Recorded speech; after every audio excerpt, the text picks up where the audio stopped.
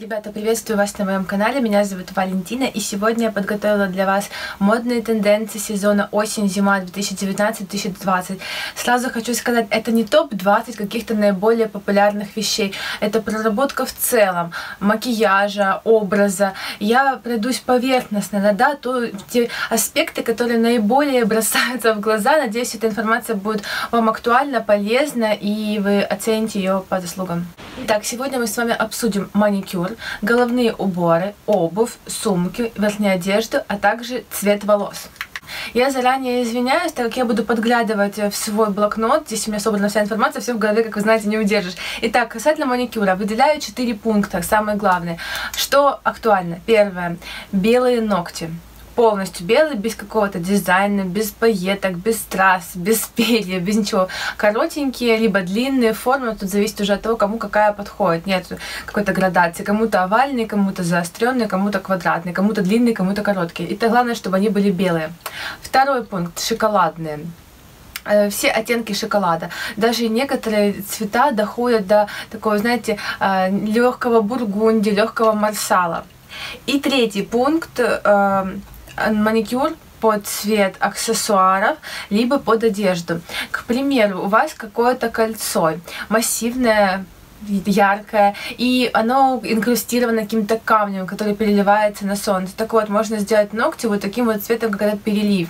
Можно сделать, допустим, у вас в одежде есть какие-то лого, какие-то принты, э, такого же подобия сделать ногти. Э, смотрите, вот мода сейчас на, на такой ступени, что можно как с минимализмом быть актуальным, так и людям, которые любят экстравагантность и как-то выделиться. То есть Сейчас дороги открыты для всех. И заключительный, самый любимый мною последнее время вид маникюра – это нюд.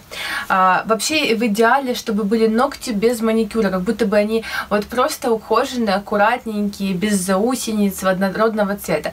А, я такие, если не буду покрывать их гель-лаком, не смогу содержать, поэтому я покрываю, но делаю их максимально вот такими вот естественными, без всяких броских очертаний. Наверное, все потому, что сезон осенний я проходила с каким-то буйством на ногтях. Ну а теперь давайте поговорим о головных уборах. Итак, пункт номер один это пушистая шляпа. А, то, что шляпы актуальны были несколько сезонов подряд, это уже все знают. Теперь представьте ту же самую шляпу, которая была у вас, только в меховом варианте. У меня э, в моем инстаграм-аккаунте Showroom Trendy Forever есть берет меховой, я его продаю. А, вот я сейчас задумаюсь, может не стоит его продавать, раз такая актуальная деталь. Кстати, береты тоже популярны. И вот такой, как у меня сейчас надет на голове, берет по кожзам, берет твидовый. А, вот как берем верхнюю одежду и такого же плана берем себе головной убор, берет. Будет очень-очень круто. Э, итак, я уже проговорила два пункта, которые сейчас популярны. Это пушистая шляпа, меховая шляпа и берет. Следующий пункт это шапка-ушанка. Но не вот такая какая-то, знаете, э, мужская, грубая, а вот шапка-ушанка, к примеру, как вот показано на картинках, с кожей, с какими-то элементами рептилии. Пусть она будет дизайнерская, пусть она будет э, необычная принципе, у меня есть э, шапка-ушанка серая, такая как стеганая, от Рибок. А, я, в принципе, буду носить ее, наверное, в этом сезоне, потому что, смотрю, они сейчас очень популярны. Еще один пункт о шляпах. Это модель под названием Федора. Можно носить ее как в классических оттенках, допустим, белая, бежевая, черная, коричневая, а можно поиграться, поэкспериментировать и купить себе шляпу Федору в оттенке анималистичном, к примеру, питон. Наверное, еще в летний период я заметила, что шляпа колокол набирает популярность, а, но вот сейчас в зимнем периоде смотрю, обороты только растут. Если летом это были более легкие материалы, то сейчас более плотные. И опять-таки, у кого выше колокол, у кого шире, в общем, разные формы присутствуют. Из прошлого сезона перетекла мода на шапку бини в стиле, да, когда мы там гранжевые какие-то образы создаем, рокерские, без бини, используя шляпу по колокол, к примеру, не получится до конца а, донести суть образа. Новинка э, в этом сезоне для меня это бейсболка без козырька. Такая а как кокон какой-то на волосах. Когда она не будет практичной и она не будет теплая, но смотрится очень-очень стильно. Мне нравится, как такая вещь смотрится в вещах спортивных. Допустим, какое-то спортивное худи, оверсайз и вот такая вот интересная шляпа. А, следующая вещь, которая популярна из головных уборов, это восьмиклинка. А, смотрю, вот э, по-разному у разного дизайнера она представлена. У кого-то между этими клиньями широкое расстояние, у кого-то уже, кто-то на базе выходит на таких на стандартных оттенках, кто-то добавляет э, яркие игривые цвета. Ну, в принципе, не, необычно и хочется рассматривать. Дальше, удлиненная шляпа. Вот для меня это просто вот самое-самое интересное было. А, как-то даже захотелось попробовать создать с ней образы. Я, если честно, не совсем даже представляю, как вот ее внедрять. А, наверное, это один из самых новых трендов, которые еще где-то там в разделах ход кутюр а, проявляют себя. Я говорила ранее, что бейсболка без козырька актуальна, также стандартная бейсболка. Но здесь уже можно, допустим, какие-то э, дополнения к ней. На некоторых бейсболках используются уши, на некоторых используются какие-то комбинации из перьев, из пайеток, из страз. В общем, бейсболка можно, в принципе, и как стандартную спортивную носить, но можно и дизайнерские вещи. Э, давно уже популярностью пользуется вуаль śladem Вот, э, и этот э, тренд перетекает в этот сезон э, не только вот на шляпках, да, на беретах, на шапках. В общем, вуаль у кого-то короткая, которая слегка там достает до бровей, у кого-то длинная, чуть ли не по линию декольте. Ну и самый, наверное, экстравагантный пункт, заключительный по головным уборам, это асимметричная шляпа.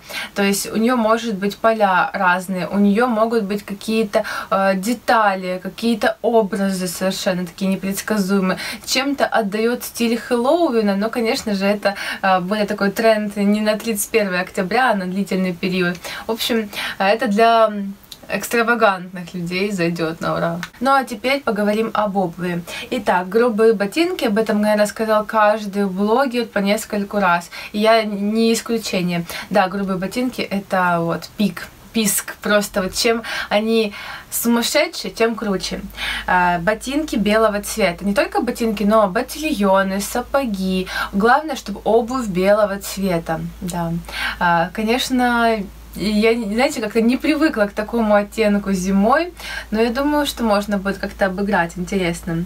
Третье, сапоги трубы, это тоже ни для кого не новость. Э, много брендов выпустила. Если не брать, там, допустим, какие-то дорогие, то в масс-маркете можно найти очень доступные аналоги. Тут главное, чтобы вот голенище было так вот не облегало щиколотку, а свободно струилась. А, четвертый пункт тоже уже не первый э, год популярен. Это сапоги казаки, а, высокие, короткие, у кого-то а, заостренный носок, у кого-то он с такой квадратным э, окончанием, тоже кто какое любит. Пятое. Анимализм в обуви. Ну, допустим, питоновые сапоги, а, коровьи расцветки на ботинках, змеиный принт, леопардовый.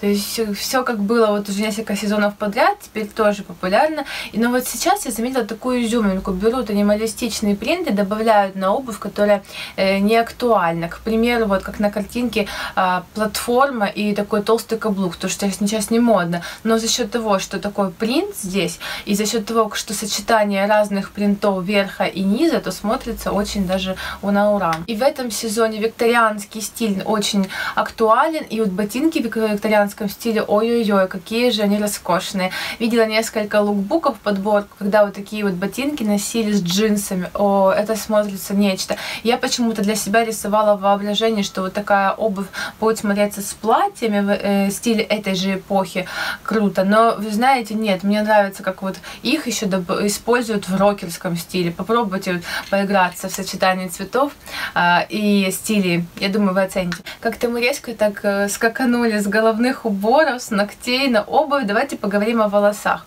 Первое. Сейчас очень популярны русые волосы, натуральные волосы.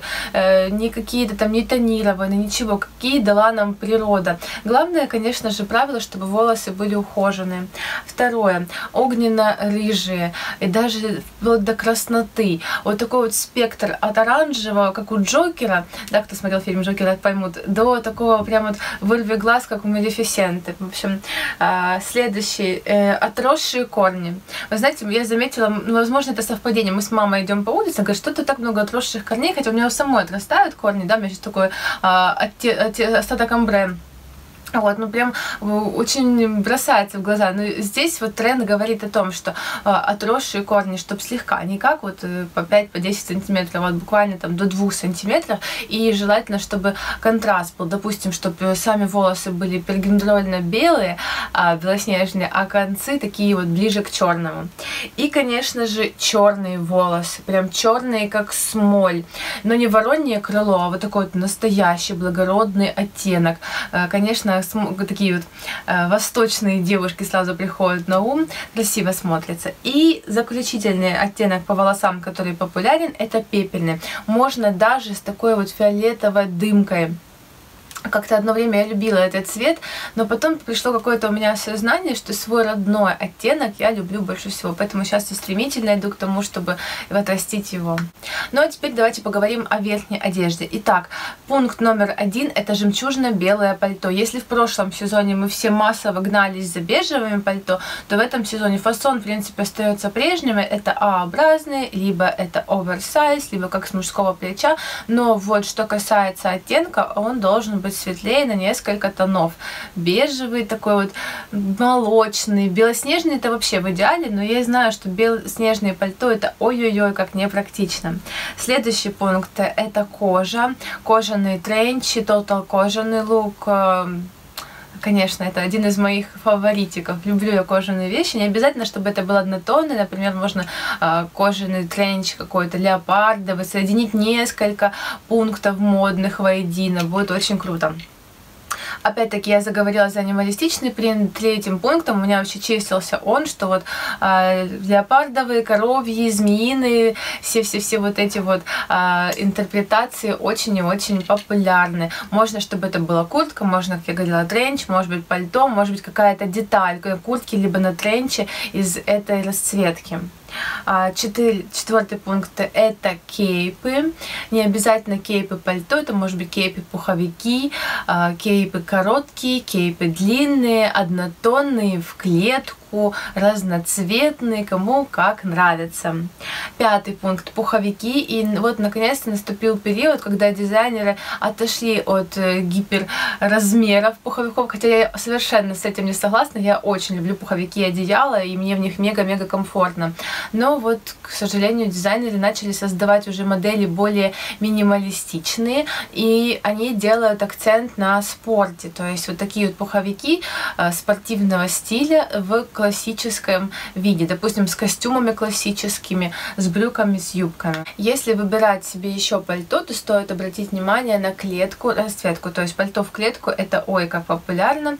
А, тоже размер ее не имеет значения от какой-то минималистичной, там вплоть до гусиной лапки, заканчивая квадратами невероятных размеров. В время многие дизайнеры делают акцент на искусственном мехе, и вот разные ворса, у кого короткая, у кого длинная, у кого как Тедди, а, совершенно разная расцветка, комбинация из разных мехов. Ну, здесь вот как буйство, буйство, по-другому не назовешь. Красиво, стильно, интересно. Я стараюсь говорить как можно быстрее, чтобы успеть записать это видео, пока есть хоть какое-то освещение, потому что меня софтбоксы не спасают.